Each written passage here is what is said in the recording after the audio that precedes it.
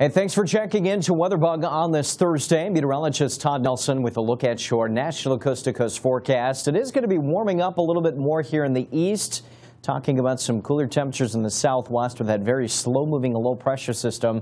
And what this will do is actually help to kick out several days of severe weather and some very wet weather for places that really do need it. The only thing that I'm uh, worried about a little bit now is because it has been so dry, if we get all this rain coming up over the next several days, which could be upwards of, say, two to four inches, well, that could lead to some flooding. Temperatures in the midsection of the nation very warm, 94 in Wichita.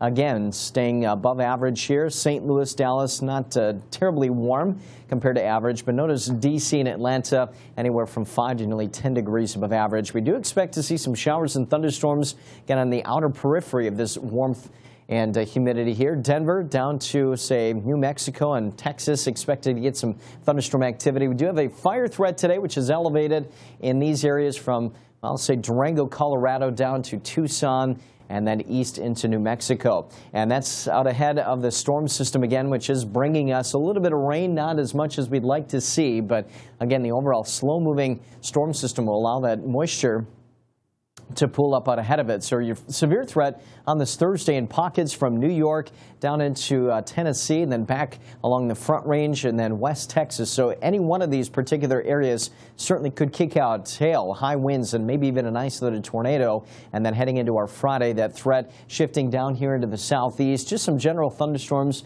couldn't rule out an isolated strong storm, but this is the area that we're really going to be watching here for Friday and Saturday. And again, hail, high winds, and isolated tornadoes. But just take a look at how much rain we could be talking about. Again, upwards of several inches, possibly two to four inches by the time this is all said and done over the next five days.